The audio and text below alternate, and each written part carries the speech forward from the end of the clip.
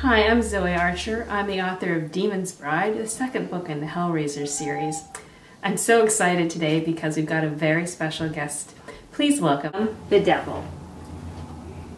First of all, who are the Hellraisers? Well, the Hellraisers are these five men who, well, let's just say I was in a really bad place in my life and they, they helped me out. So in exchange for freeing me from my prison, I, well, I gave them some powers. Why did you pick them? These five guys, they're what you call power players. You know, you don't just give magic to people who can't do anything for you. These guys, I knew that I wanted them in my corner. As the devil, what are you most proud of? Really happy about the bubonic plague, jeggings, oh, the internet. The internet? The, the internet's great. Yeah, how many books would you have written if you were not looking at pictures of kittens? How do you feel about love?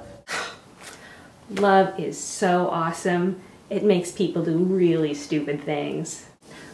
Well, as a romance novelist, I feel like I have to ask, how do you feel about happily ever after? Next question.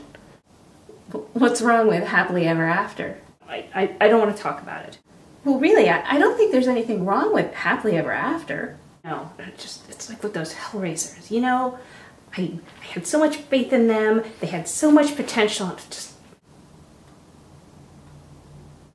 I, I'm not talking about this. Next question.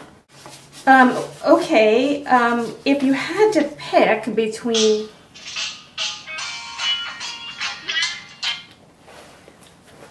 Victoria Doll. Oh my god, you didn't.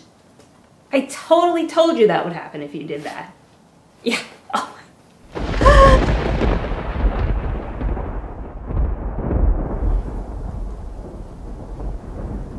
um,